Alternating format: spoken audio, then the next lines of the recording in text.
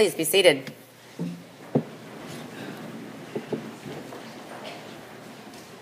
Jesus says, Unless you repent, you will all perish. Now, if you take some time to reflect on this passage, this is a stark statement. And so it might lead you to ask yourself Will we perish as a result of our own demise, of our own self inflicted punishment, or will we perish by the hand of God?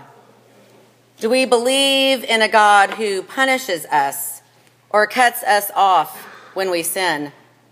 Now, the institutional church often has used passages such as these, or especially passages from the Old Testament, to have us believe that we can be scared into good behavior, including attending church.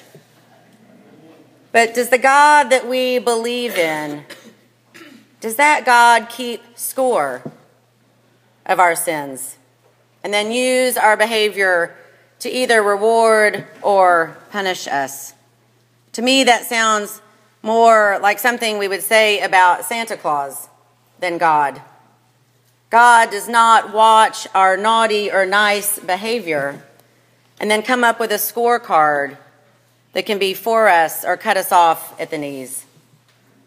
If you look at particular passages of Scripture, you can come to believe that we believe in a vengeful God, a God that does indeed keep score and hold vengeance against us.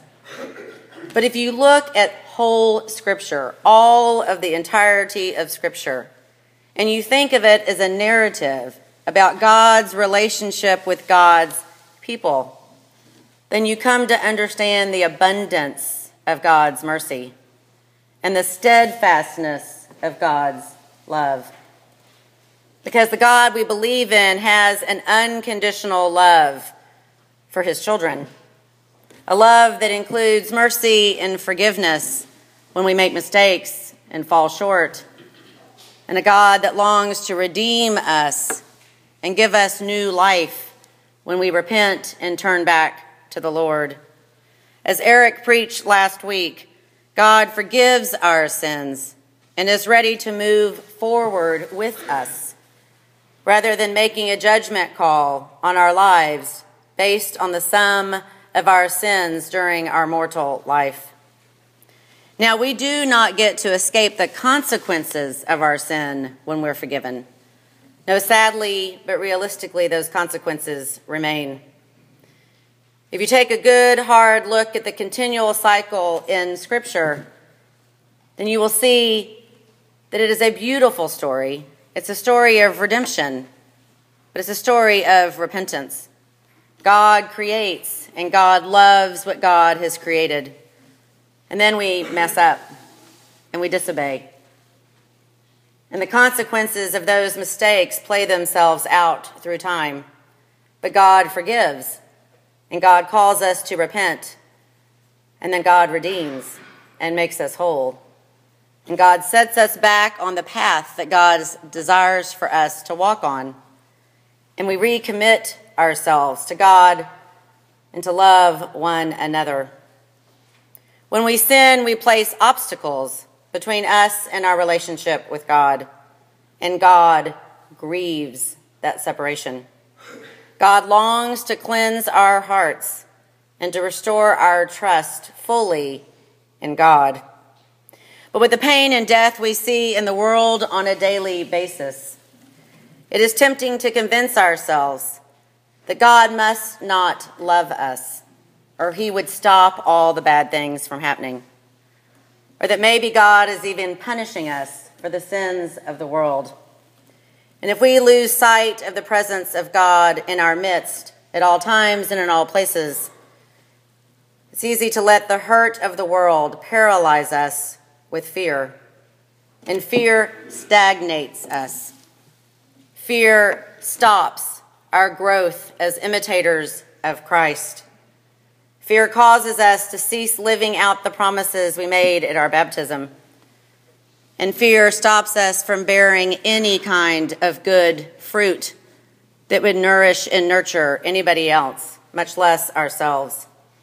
So, what is the source of this fear that we see all around us and maybe even inside of us? Is it a fear that maybe the consumerism that we see everywhere in the world has led us to believe that no matter what we have, it's not going to be enough? Or maybe it's fear of death, fear of being alone. Maybe it's fear of change.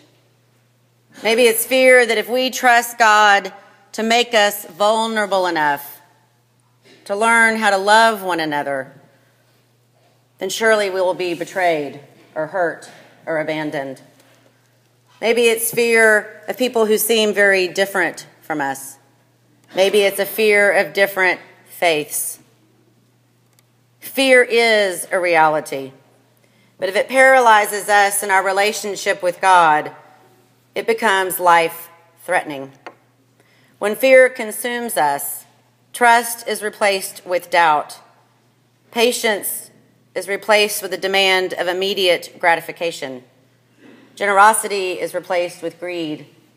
Reconciliation is replaced with division. Love is replaced with jealousy. Forgiveness is replaced with bitterness. And hope is replaced with fear itself.